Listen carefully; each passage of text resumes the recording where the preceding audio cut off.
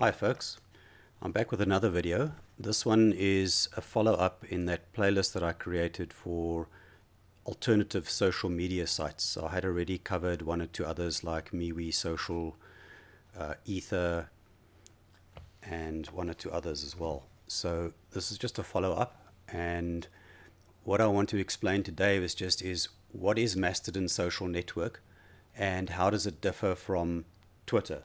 Many are going to say it's obviously a lot better than Twitter because it's got similar functionality but a lot more. So if you're familiar with something like TweetDeck, the type of interface you get is going to be very similar. And the fact that you're doing what Twitter would call tweets, you're doing toots on, on Mastodon. That's just the term they give it. But I'll get back into that more when we look at the interface itself. What I just want to show now is the Fed, it's part of the Fediverse network essentially. So these are all different social networks that you're seeing here. Uh, Mastodon is one type of social network. Uh, PeerTube is a video related one. Uh, what else is there? Friendica, GNU Social. Uh, what else have we got? There should be Hubzilla as well. There we go, Hubzilla as well.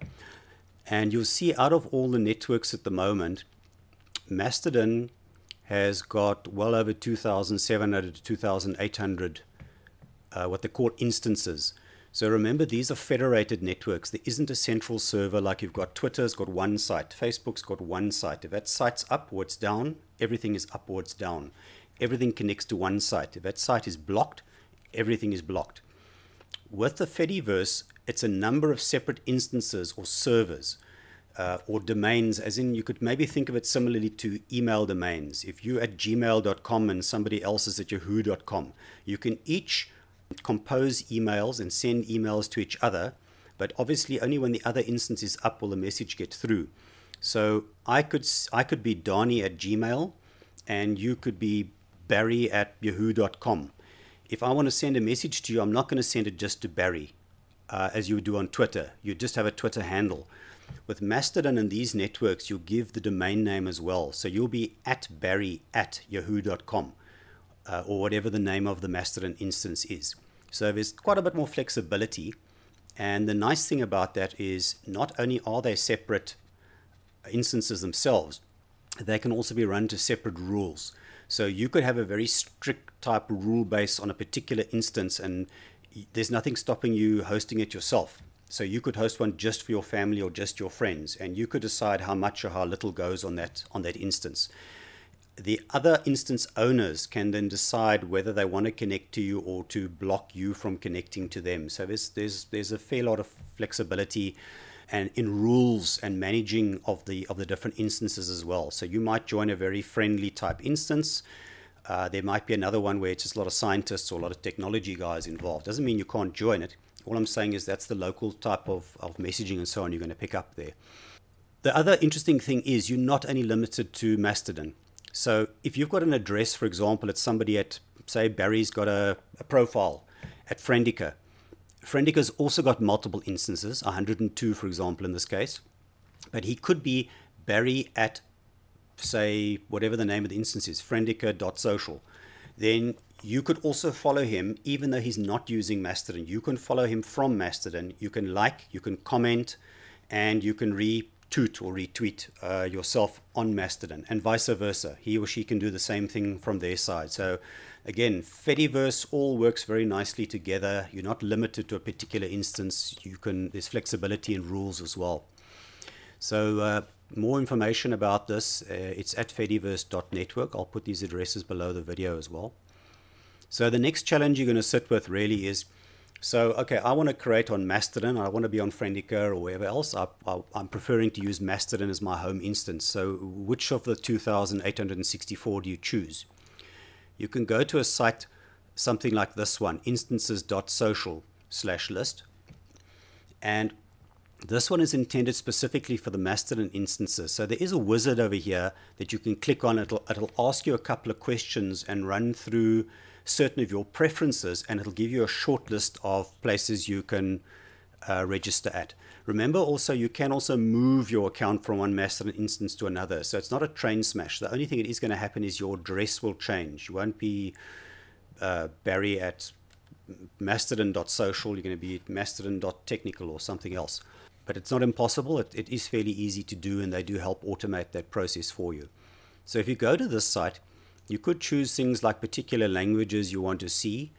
Um, I mean, if example, if you were German, you were going to choose maybe German here or Spanish or whatever the case is, and, and it'll give you a preference of the home sites in that language. Remember, still, you can interconnect to any other instance, so it doesn't really matter. Then you can also choose any particular filters here for, uh, well, allowed. If you want spam and advertising and various other things, you can choose that. Then you can also say what is prohibited, uh, whether you don't want to see any links to illegal content or spam or advertising. And you can even set maximum users. In some cases, people want to find a quieter instance. Other people want to be on a very, very busy big instance. So you, you've got all those options. And basically, if you click search, it's going to come up with this list. And all you have to now do is, this will be the short list at the moment. You can then also see on the right here how many users are using that instance at the moment and how many posts or statuses they've uh, posted. So it just gives you an idea of how busy the the actual instance is before you you get involved. There's quite a few that have got specialist interest groups. So I'm not going to go into one or two of these. I'm not too sure what some are. Uh, but here, for example, is a social one, and it's to do for instances for people who like to play video games socially. So if you clicked on that, it's going to give you a bit of information and then you can say go to the instance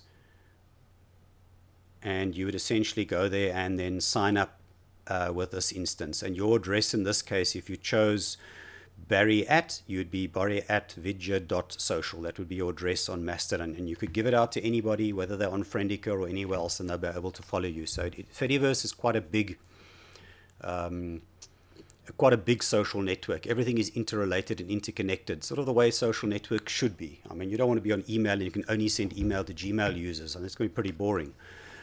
So, yeah, I I do quite like the idea of the of the Fediverse. I have covered one or two peer-to-peer networks as well in my social network playlist, so you can have a look. I will put a link at the end of my video to that playlist, so you can have a get a taste of what some of the other networks look like. But I think without further ado, let's jump into what you're going to see if you've logged into Mastodon. So this is actually what you're seeing. This is the screen, the desktop screen. And I'll give a brief glimpse at the end what the mobile app also looks like. So these are uh, are browser-based, sorry, browser-based instances of Mastodon. And yeah, this is obviously where you're going to compose messages and so on. But here is your home feed essentially the home feed is everybody that you're following. There's no algorithms here that are inserting advertising or other things that you not have not opted to follow. So just remember you've got a lot of control over what you're seeing in this in this particular feed. Notifications is anybody that has uh, liked or retweeted or retweeted your your post or also anybody that's commented to you uh, or commented on your post. You can control that um, and there's also mentions where you've been mentioned possibly in a third party post. But essentially, this is where you're going to see anything notification wise. Then this column over here, I've set it up for no, for basically filtering on anything where Hubzilla or Scuttlebutt is mentioned. Those are two things I'm keeping an eye on at the moment. So if I go down here, you'll certainly see hashtags in there that have got either Scuttlebutt or or Hubzilla. It's a good way of just keeping an eye on certain things that you're interested in. And you, there's quite a lot of scope here to uh, expand this further. You'll see there's you can you can also choose to exclude certain hashtags as well as include any or it must contain the following three or four or whatever the case is. So yeah, very very useful. On the right hand side here, this column will change depending on what you've clicked on, but there is a getting started. There is a local timeline. So what happens with a local timeline is this is a a stream of posts from everybody that's on the instance that I'm on. So if I was on that, um, what is it, the video game playing instance, what I'd be seeing here primarily would be people posts from those people, maybe about video games. So so give some thought to your home instance. That that's the one one thing you're going to see under local timeline. Then the federated timeline is is everything. It's really all the Mastodon instances. So uh, this is not outside of Mastodon at this stage. Remember, I said if you're under your own feed under home, you, you can opt to follow people under Friendica and other networks. Those you'll be seeing in here. These are, those are the people you're following. But the federated timeline is everything being posted literally live on on Mastodon. So as you as you refresh it every few seconds or whatever the case is, you're going to see um, lots and lots and lots of posts going past. You're going to see Japanese, German, Spanish, all the various languages as well. So it's quite interesting if you just want to keep an eye on the on what do they call it the the hose feed or whatever it's called, where you sort of see everything. Those are posts that have just been posted now. Then you can also do direct messages. You can bookmark posts. You can have favorite posts. You can have lists. It gives you an idea down here of what's trending at the moment on Mastodon. Um, profile directory I haven't used very much because I'm not finding the proper search functionality on it on, on this type of browsing really. So, but it is there. There is some information about the actual uh, instance itself. So this particular one is mastodon.social. It, you could call it the original instance. It was created, and also the, it's it has been established by the creator of Mastodon, uh, which is Eugen. Uh, his handle is at Gargron.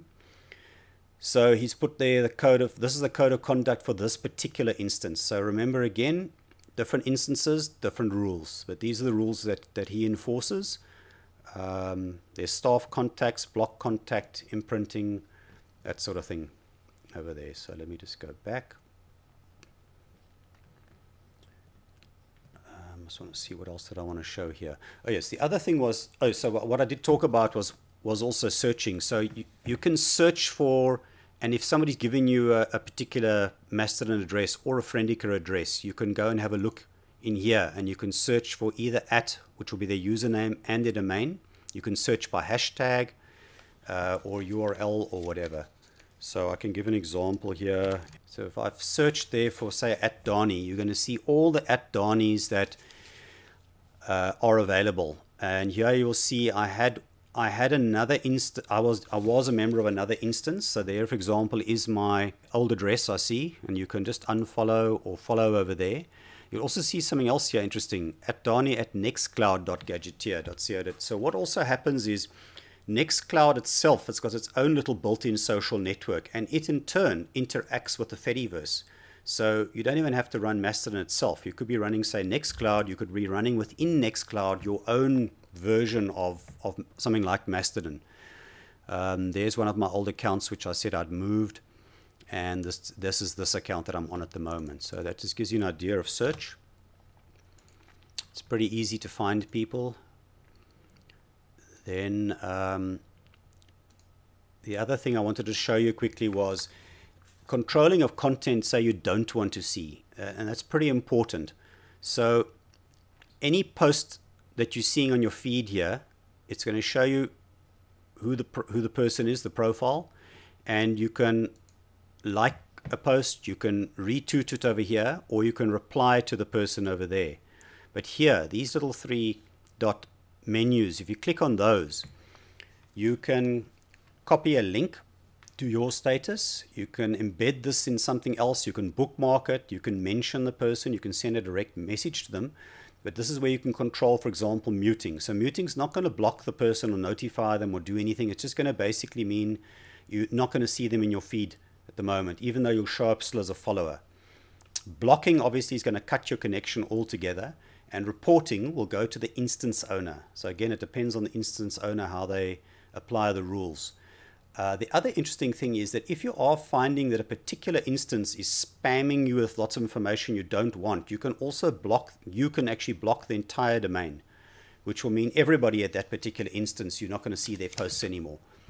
Um, so there's there's a fair bit of control, I think, um, with this. I, I, get very very little that I'm that I have an issue or that I'm uh, particularly worried about. The other thing I can show as well is uh, the profile. If I click on my name, for example, uh, there is my profile. It's got some authenticated identity. So I've used Keybase, for example. You've got a couple of others. These you can give them whatever name you want and whatever address you want over there. So I just changed this to Scuttlebutt yesterday, but it just gives you an idea of where else you can find the person. You can obviously change the background image and so on there. There's my Mastodon address. You can follow me, in other words, on this address. You can follow me from Mastodon, Friendica, Hubzilla, anywhere else on the Fediverse. Then there's a short little bio you can put in. It gives you an idea of how many followers you've got, how many people you are following, and I've done 3.9 thousand uh, toots already on this account. Uh, and by the way, I can just maybe mention between my Twitter account and my Mastodon account, I get noticeably more interaction and comments I get through Mastodon than I actually get on Twitter itself. So that's also quite interesting. And then below here, you, you can just see the last lot of your own um, toots that you've actually sent out. And it'll be the same if you go to somebody else's. I can show you, for example, if I take Jan's here, click on his. Likewise, you're going to see what he's got in his profile. I can follow, unfollow there. You can also mute, block, or report or block his domain. You can see what his summary is, how many toots he's done, followers, and then you can see his last couple of uh, toots. It's just useful if you want to see, do should I follow the person or shouldn't I follow the person? And you can get a good idea over there as well. Um, yeah, so the other thing I can show you quickly is also to do a post. You'll notice something else here. Here's a big difference from Twitter as well. You've got up to 500 characters, so you can type a reasonably longish uh, message, which is quite nice. You can do attachments, and the attachments are basically going to be attached image, uh, little video clip, uh, or whatever you want to add.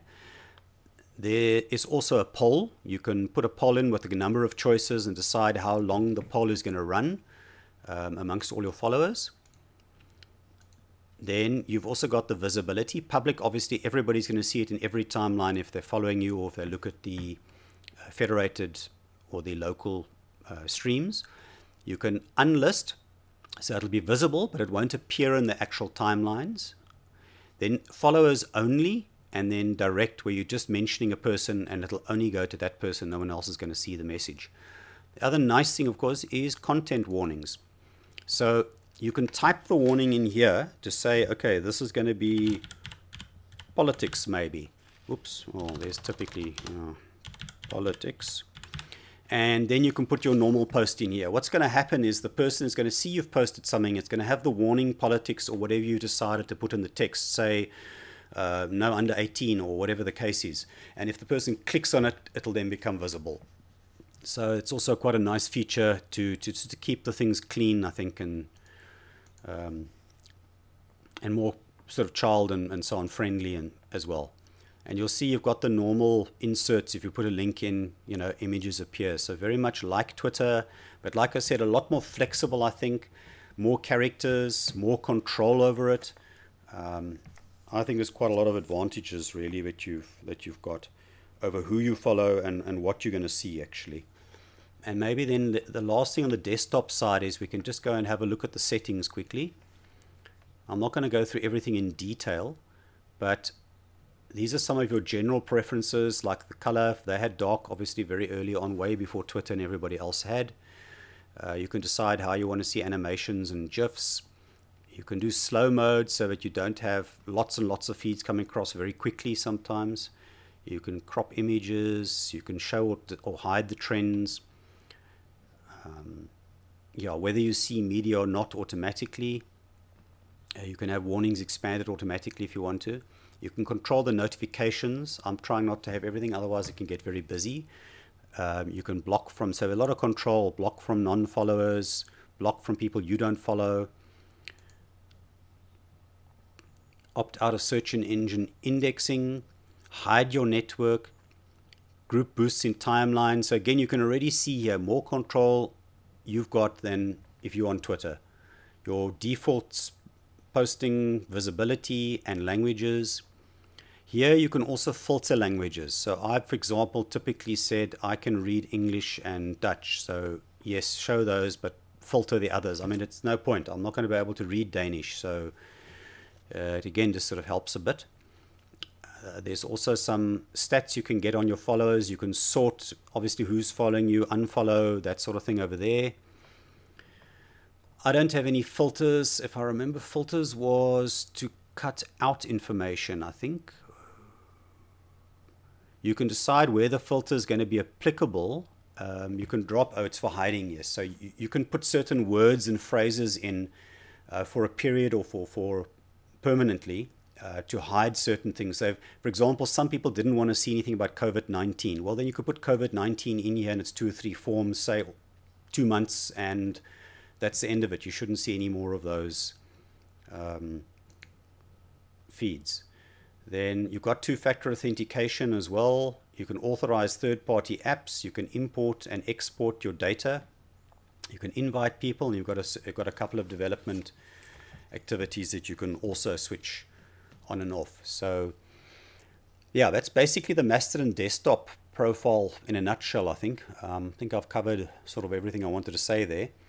The other thing I can briefly show you then really is just quickly to show what the what the mobile phone interface looks like. So this is an app called Tusky on on Android and it's got a very similar look and feel, similar functionality, but you can just have a look then. This is the home feed, similar to the desktop feed. And you'll see the same options below every post over there. There are your various options if you touch the three, three dot menu. There's the notification stream, and you can again filter on that stream what you want to see or not. That was um, messages, and there is your global timeline or your federated timeline.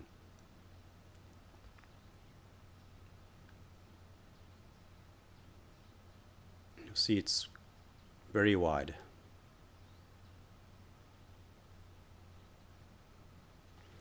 And there's the menu on the mobile app. Preferences, similar sort of settings.